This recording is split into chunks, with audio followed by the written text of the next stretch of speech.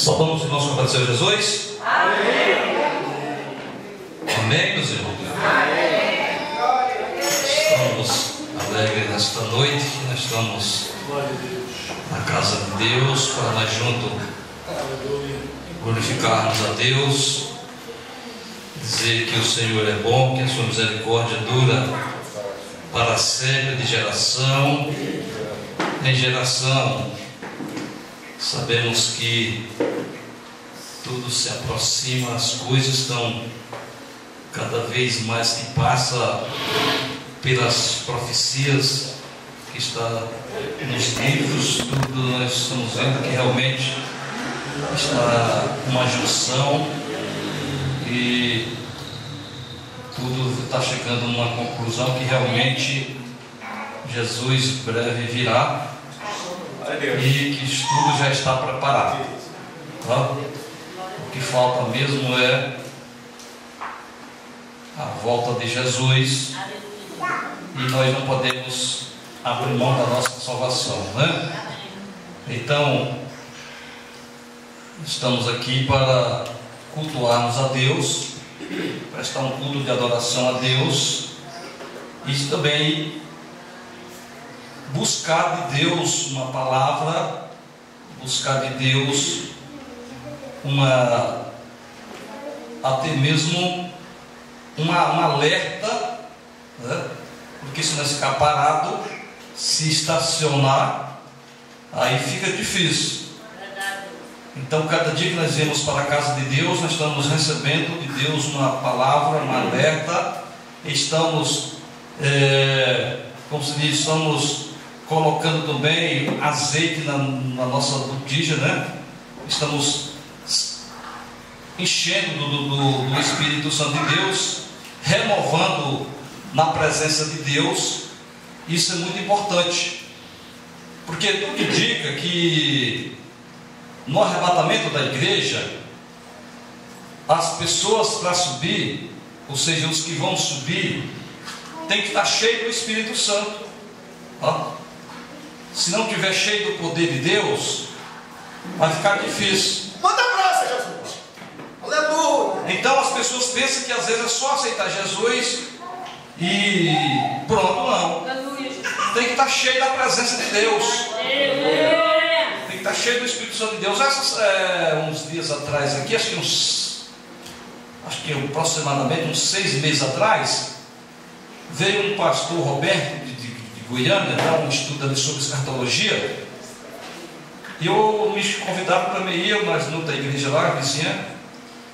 E eu disse, então eu vou também concluir mais esse, esse, cursozinho lá, né? Sobre...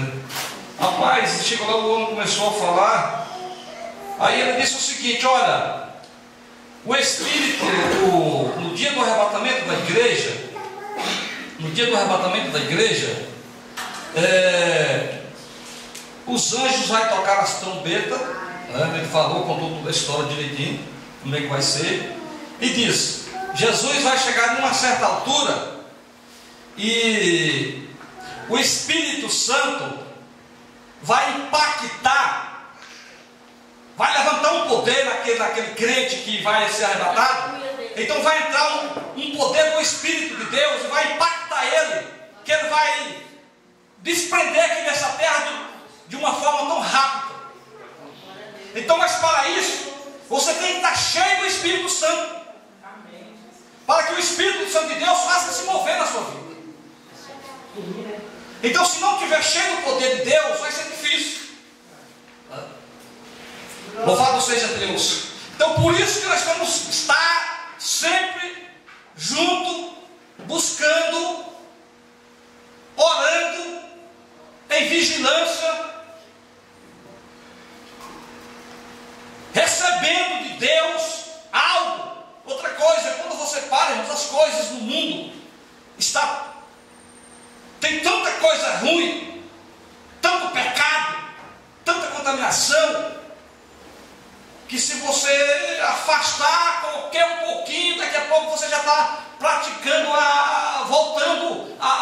passado.